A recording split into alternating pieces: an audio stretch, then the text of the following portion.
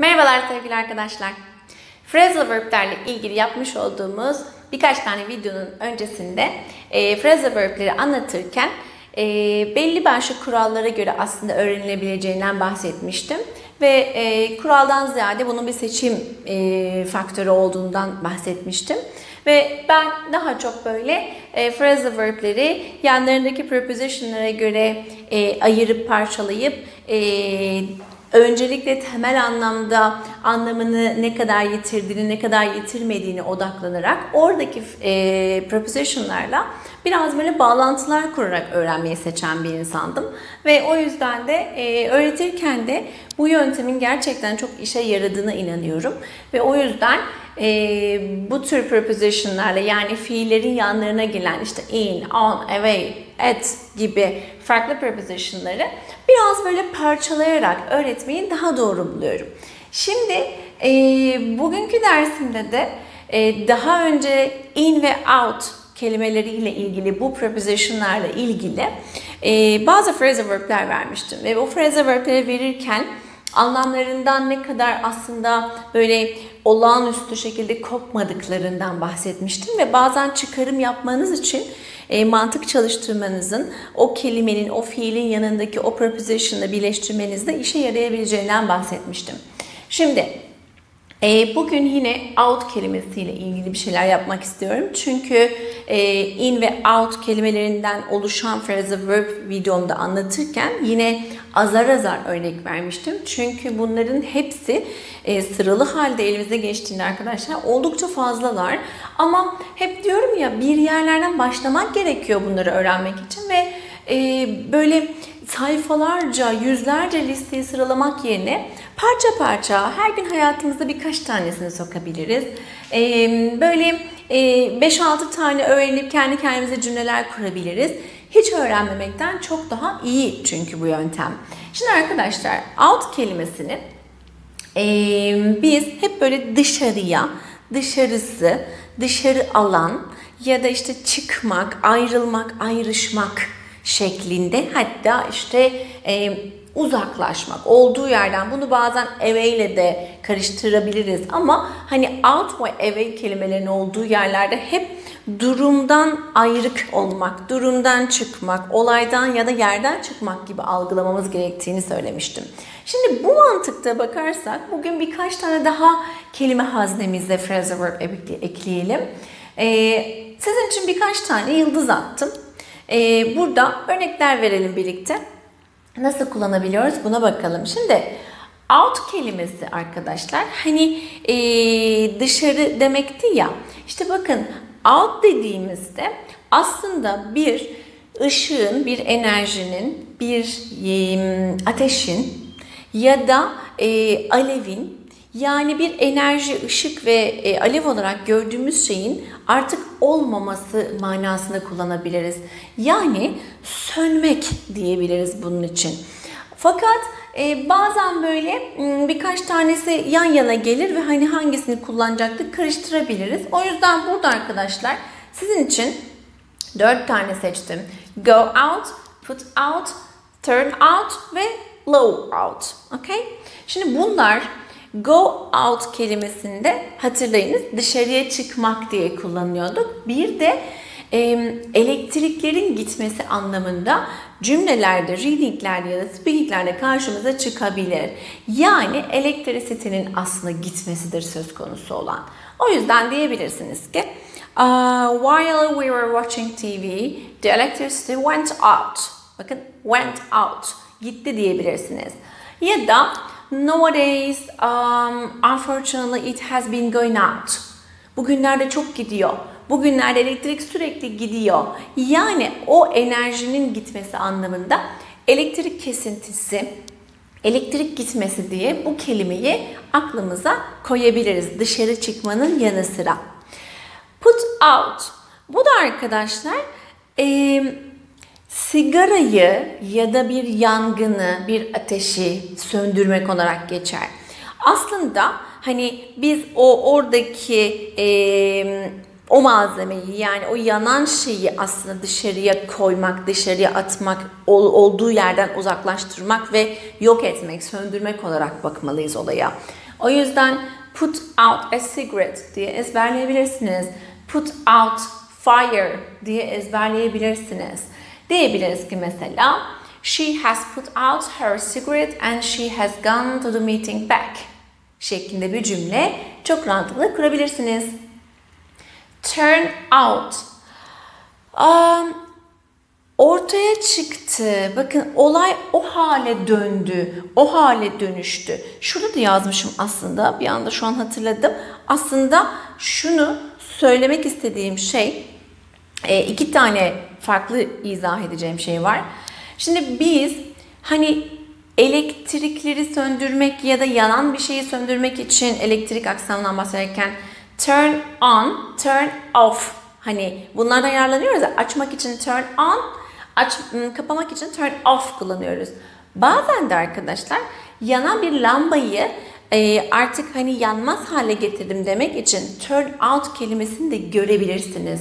Bu phrasal verb'i gördüğümüzde hep ne demiştim o turn kelimesiyle ilgili e, elektrik aksamının düğmesinin ya da işte o bağlantının kesilmesi off ya da onun artık devre dışı bırakılması bakın. Yine dışarılık anlamı vardır. Öyle olağanüstü bir değişim söz konusu değildir. Diyebilirim ki You should turn out the lights before you leave house. Diyebilirim bakın. Görüyor musunuz? Evden çıkmadan önce ışıkları kapatmalısın. Bu lazım olan bir şey diye bir cümle kurabilirim. Blow out. Bu da e, hani böyle yine aslında bakın blow üflemek demektir. Ve böyle üflediğinizde sönen bir mumdan bahsettiğimizi mesela mum söndürmek, e, onun ateşini almak, alevini yok etmek anlamında yine söndürmek kelimesi olarak kullanılabilir ama hani böyle üfleyerek söndürmek, soğutmak, oradan uzaklaştırmak, o var olan alevi ateşi oradan uzaklaştırmak. O yüzden blow out kelimesinde candle'la aklınıza tutabilirsiniz. Mesela put out cigarette diyebilirsiniz, blow out candle diyebilirsiniz.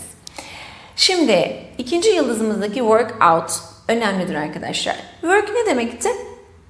Çalışmak. Bakın işte burada aslında e, iki tane e, anlamını vermek istiyorum size. Bir tanesi aslında çalışmak fiilinin köküyle çok bence belki alakası olmayan yani ben çok çok bağdaştıramıyorum ama hayır hocam olur mu yani şöyle bağlantılı olan işte bence evet ben zaten işte dışarıda çalışıyorum fizik aktivite yapıyorum falan deyip böyle akında tutan insanlar da var.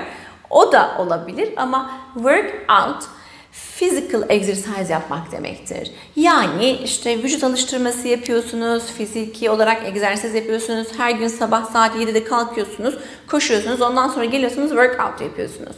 Yani diyebiliriz ki I regularly work out at the weekends. Bakın sadece haftada iki günde belki vücut alıştırması yapıyorsunuz. O yüzden workout'un birinci anlamını doing physical exercise olarak aklınızda tutabilirsiniz. İkincisinde de arkadaşlar e, böyle hani hmm, bir, bir şeye cevap bulmaya çalışmak. Yani burada biraz bakın anlamı kaybetmez. Hani şudur hesap etmek. Bir şeyleri e, üzerinde çalışıp bir çıkarım yapmak, bir çıkarımda bulunmak şeklinde. E, işte hani şu an hesaplamaya çalışıyorum. Şu kaç paraydı ya? Şununla şu kaç paraydı deyip böyle I'm working it out gibi bir cümle kurabilirsiniz. Yani work out dediğimizde birisinin kurmuş olduğu o cümlenin kontekstine bakmalısınız. Hep ne diyorum? Vocab ezberlerken arkadaşlar ve öğrenirken bu ister bir phrasal verb olsun, isterseniz ana şekliyle, kelime haliyle kullanan isim, fiil, sıfat olsun fark etmez o kontekste göre farklı anlamlara bürünebilir. Biz bunu kendi dilimizde bile yapabiliyoruz. O yüzden hani e, aynı anlama gelen kelimeleri bazen böyle tek seferde tek bir anlam gibi ezberlemeyin. Yoksa bu sefer diğer cümleler içinde bambaşka çevirilere sebep olur bu. O yüzden work out kelimesini üzerinde çalışıp bir şey bulmaya çalışmak, bulmak, hesap etmek, hesaplamaya çalışmak diye cepte tutun. Bir de aynı zamanda fiziki aktivitelerinizden, hobilerinizden bahsederken mesela yaptığınız physical exercise'ları workout kelimesiyle kullanabilirsiniz. Şimdi arkadaşlar carry out dediğimizde ise mesela yerine getirmek diyebiliriz bu, bu kelimeyi ve hani deriz ki çalışanlar e, görevlerini yerine getirmelidirler. Bunu e, hayat buldurmalıdırlar. Yani bu insanlar bunu gerçekleştirmelidirler. Harika. Gerçekleştirmek e, ve yerine getirmek. Mesela deriz ki a, mesela askerlerden bahsedebiliriz. E, ya da bir polislerden bahsedebiliriz. Soldiers must carry out the orders. Bakın emirleri yerine getirmek zorundadırlar. Ya da çalışandan bahsedelim. Um, all workers are supposed to carry out duties. Görüyor musunuz bakın görevleri yerine getirmekle yükümlüdürler. Yerine getirmeleri beklenir onlardan şeklinde bir cümle kurabilirsiniz. Yani carry out e, yerine getirmek ve gerçekleştirmek olarak karşımıza çıkar. Ha burada işte bakın kelime anlamını yitirmiş mi? Carry taşımak, dışarıya taşımak yani e, bence yitirmiş. Çok zorlamaya da gerek yok ama hani böyle bir şeyi e, sırtlanmak, almak, yapmak, görevi ifa etmek... Hmm, Hani bunu gerçekleştirmek diye bakarsanız yine de hani böyle okuduğunuzda o reading pasajı, o cümleleri okuduğunuzda önündeki arkasındaki cümleden emin olun ki size mutlaka bir ışık yakacaktır. Hani böyle böyle bir cümlede işte hani e, bu onların görevidir, bu onların yükümlülükleridir. Genel olarak iş hayatında bu beklenilen bir şeydir. All, all workers are supposed to carry out their duties and responsibilities while they work. Bakın çalışırken getirmek zorundadırlar. Or uh, the, the, the children at home should carry out uh, about household chores or about studying their lessons or about obeying their parents. So in these kind of situations, all children are supposed to, all children are expected to carry out their duties and their responsibilities in their houses, in their families, and in order to have good communication, in order to have good future gibi böyle hani sohbetlerinizi tamamlarken çok rahatlıkla e, carry out kelimesini yerine getirmek, gerçekleştirmek, o, o ortaya koymak diye kullanabilirsiniz. Find out Aa, işte bu get information demektir ve çok yaygın kullanılır.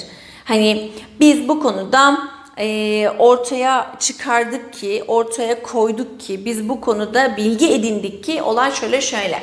Mesela derler ki işte um, the police officer has found out ortaya çıkardı. The police officer has found out that there was a crime and there was a crime there. The, the police officer has found that and has found out that uh, the, the girl uh, was there at that time gibi bir cümleyle ortaya çıkardık ki o elde etti bilgiyi, get information yaptı. Ya da hani işte ortaya koydular, bilim adamları buldular, bakın bulmak. Yani bu kelimede bakın bulmuşlar ve ortaya çıkarmışlar. Yani bütün bilgilerin içinde bulup dışarıya çıkarmışlar. O yüzden burada da bir uçurum e, şekilde kaybetme durumu yoktur anlamını. Give out, hand out. Bence bunda da yok. Şimdi göreceksiniz. Buna zaten belki de eğitim, öğretim hayatımızdan dolayı aşinayızdır. Um, dağıtmak, tek tek vermek. Ne yapar öğretmenlerimiz? Handout'lar vardır bakın. Tek tek dağıtılmış worksheet'ler vardır. Diyebilirsiniz ki Our teacher bir tane olumsuz yapalım. Our teacher didn't hand out any worksheets. Bak hiç vermedi. Or I wasn't given a handout. I haven't I wasn't given a handout and I wasn't given any worksheet. I wasn't hand out. I wasn't uh, given out diyebiliriz. Yani verilmedim demeye çalışıyorum. I wasn't given out any worksheet. Bakın ben hiç e, almadım, bana verilmedi. She didn't give out any any worksheet, any uh, kind of new materials this week gibi bir cümle kurabilirsiniz. Yani tek tek each person'a dağıtılmış, verilmiş olan kağıtlar, materyaller için dağıtmak, e, worksheet dağıtmak, kağıt dağıtmak, materyal dağıtmak diye bunu öğrenebilirsiniz. Um, try out. Arkadaşlar şimdi try out deyince e, mesela şöyle zaten deneme kelimesinden dolayı bunu evet buldum. Deneme kelimesinden dolayı bunu zaten aşinayızdır ama hani böyle bir yeni sistem deniyoruzdur. Yeni bir e, bir yöntem deniyoruzdur satış tekniklerinde.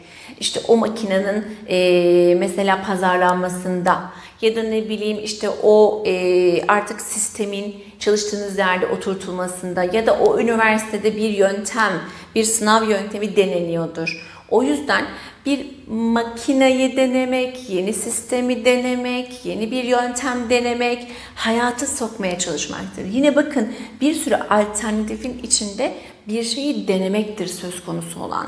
O yüzden örnek olarak da mesela işte e, yeni bir muhasebe sistemi deniyorlar diyelim ki e, bir firmada. Diyebiliriz ki the firm is trying out a new software for their accountancy. Bakın mesela muhasebe bölümü için. Or they are trying a new system, trying a new system out. They are trying out a new system for their uh, marketing department diyebilirsiniz. Run out of kesinlikle bilinmesi gereken bir phrasal verb'tür. Şimdi arkadaşlar bazı phrasal verb'ler kendilerinin yanına ayrıca bir başka preposition alırlar. İkileri bitti de bir de üçlüler mi başladı diye düşünmeyin.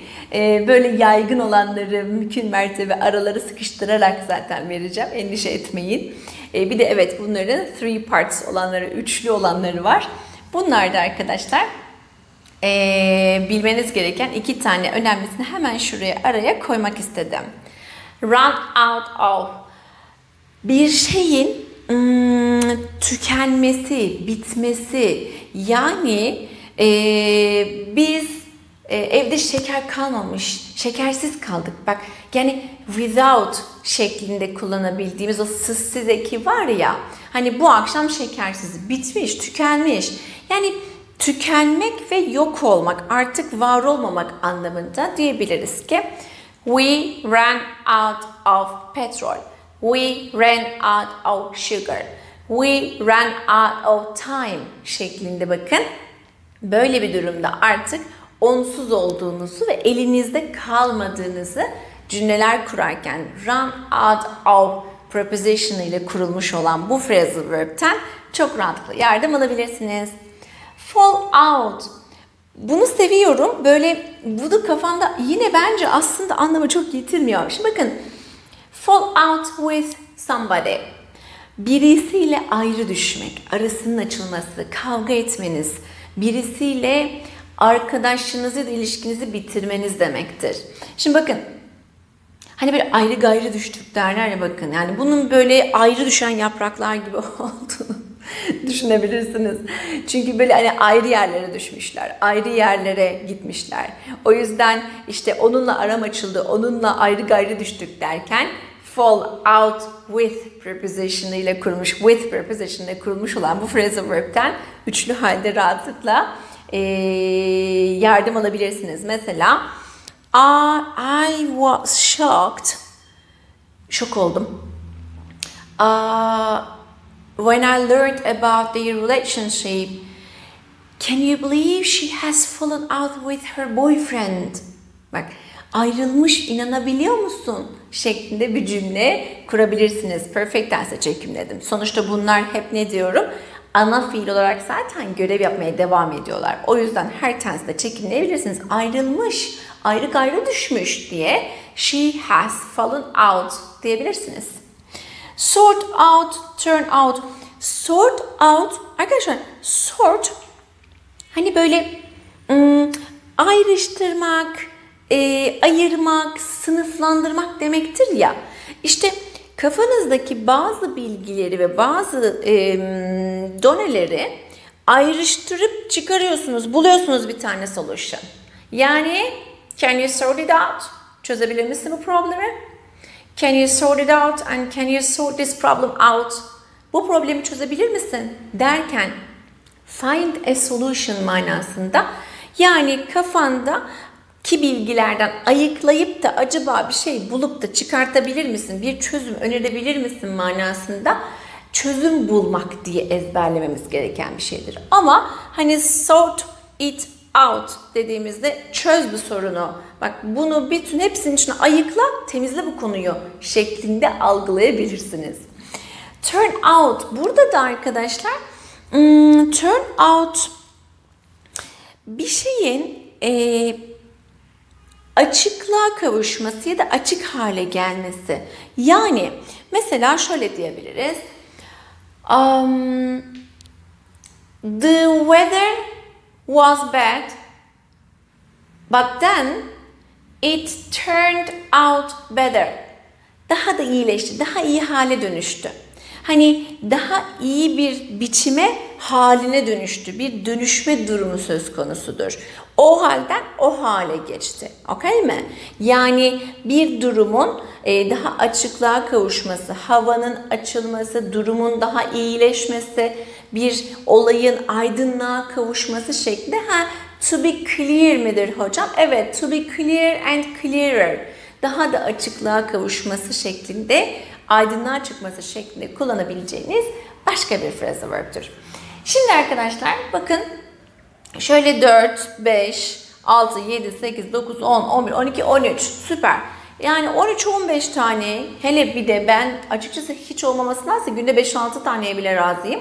Şöyle günde bir 10-12 tane vokablerinizin içine biraz da ezberden uzak olarak işte hani blow out eşittir candle söndürmek, işte turn out eşittir ortaya çıkmak, işte ne bileyim work out eşittir physical exercise yapmaktan uzak vaziyette okuyup algılamaya çalışın. Çıkarım yapmaya çalışın. Vocab dediğiniz şey reading yaparken gelişir ve bu reading yaparken beyninizi çalıştırın. O beyninizi çalıştırdığınızda ne kadar algıladığınızı, comprehension'ınızın ne kadar çok geliştiğini göreceksiniz. Ezber yapıp da gözünüzün önünde workout eşittir physical exercise yapmak diye canlanmasından ziyade bunu anlamaya çalışın, kullanmaya çalışın. Kendi hayatınızda da böyle kendi kendinize cümleler kurun. Sabah kalktığınızda da kurun. İşe giderken, okula giderken de kurun. İşte ben e, her gün sabah vücut egzersizi yapıyorum şeklinde cümleler üretmeye çalışın.